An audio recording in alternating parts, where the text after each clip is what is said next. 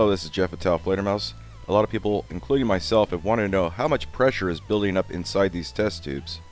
I epoxied a thermometer probe inside the test tube, keeping it centered and away from the direct heat so we can get a good idea how much the temperature is inside. Once we know that, we can look at a chart and figure out what kind of pressure is inside. It's all relative. Now in this experiment, things are a little bit different. Um, I'm using a different brand of test tube. This is a Kimax test tube. The other one was just some weird generic one. This is a 125 millimeter test tube. The other test tubes I used were 155 millimeter.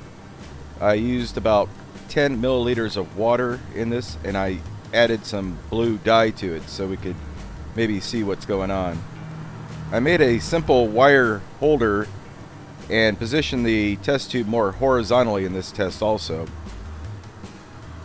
In our first two experiments, the first one being water, the second being olive oil, the epoxy plug at the top of the test tube was what blew out each time. And each time the test tube went flying off in the opposite direction at a pretty high speed.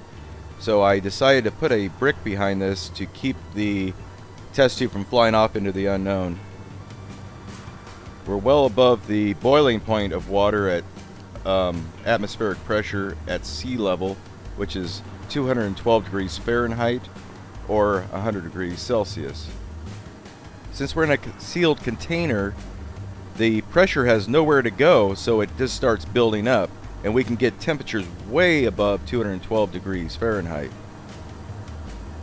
Of course, at atmospheric pressure, these kind of temperatures are impossible to achieve. The most you can get is 212 degrees when you're boiling something at sea level.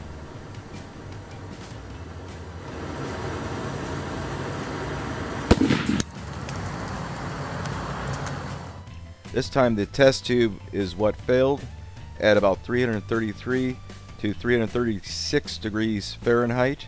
So what kind of pressure are we looking at here?